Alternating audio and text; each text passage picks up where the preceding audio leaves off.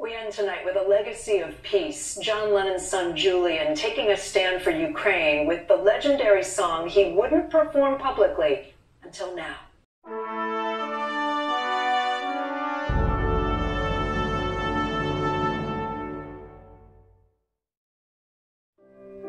Imagine there's no heaven. It's easy if you try. It is one of the most recognizable songs in the world. No hell below us. Above us, only sky. A stirring anthem of peace and hope. Imagine all the people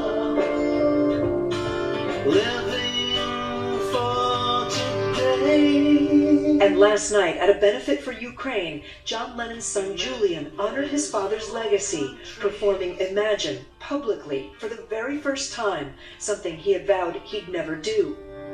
Nothing to kill or die for.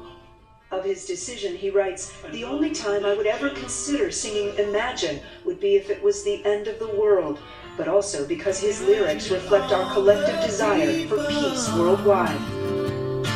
Sharing all the world. You,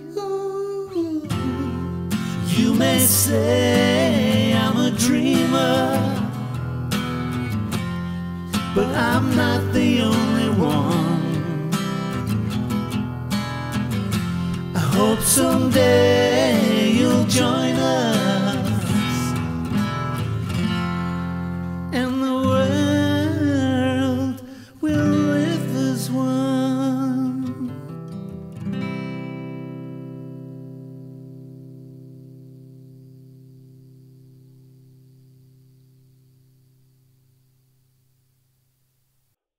opportunity. This, this is an opportunity for us now around the world to say once and for all, it is time for peace. Thank you. All right, Stanini. e la cantante ucraina Katerina Pavlenko canteranno il brano Imagine di John Lennon come messaggio di pace.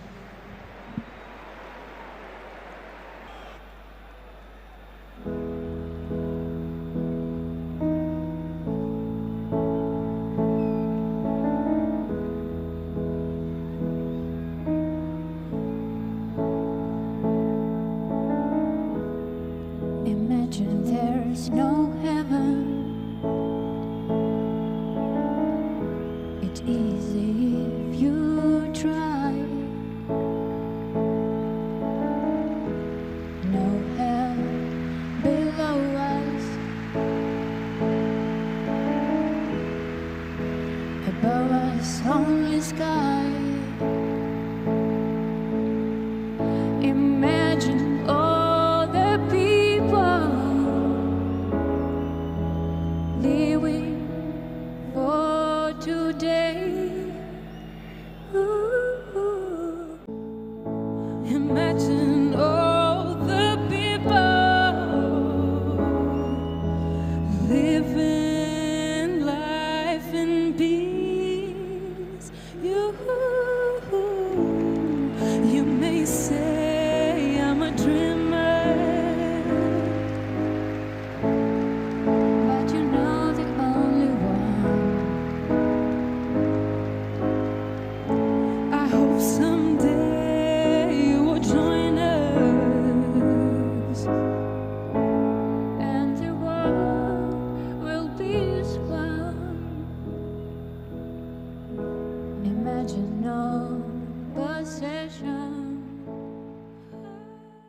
My whole career, I played with Ukrainian players, I played with Russian players, and I played with American players.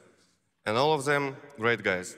And right now, I stay with my friends, with my real friends. We win together and we lose together. And all of us want peace for Ukraine and for whole world. Yes, the call for peace is emerging around the world. But if we want peace, we need to look at what causes war. The primary incendiary action is violation of sovereign boundaries. Listen to President Biden as he makes it explicit.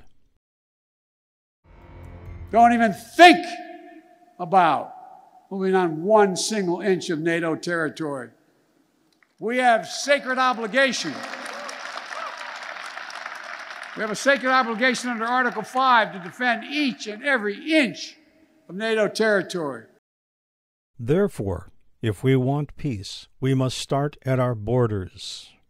Which leads us to the following Declaration of Peace on Earth 1. Respect all existing boundaries. They exist and should be inviolate. This could be done very soon. These nations will agree that it is self evident that violations of these boundaries are an extreme insult to the common goodwill of humanity and peace on earth. As boundaries are honored, the people of our earth are finally free to celebrate the glorious expression of who we are on this planet, our living mystery in the universe. And then, let us explore and revel in the wondrous diversity of humanity at peace on earth. As the global quest for peace emerges, we can together imagine all the people living for today in the next 128 weeks. We hope someday you will join us.